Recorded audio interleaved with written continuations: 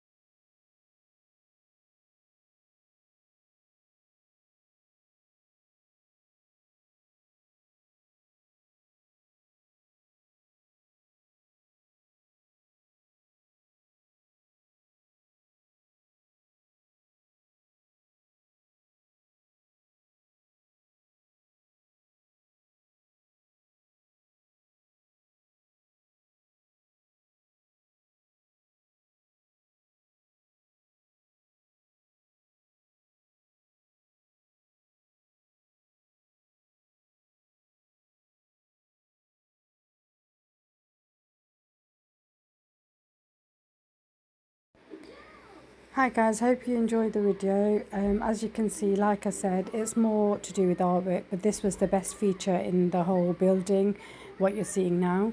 Enjoy the rest of the video. Hope you like it. Leave us a comment. Thank you. Bye.